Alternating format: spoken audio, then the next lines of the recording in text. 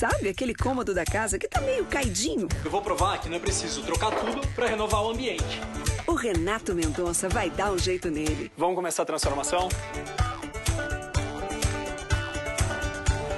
24 horas para redecorar. Nova série. Estreia sábado, 16 de maio, às 10h55 da noite. No Discovery Home and Health.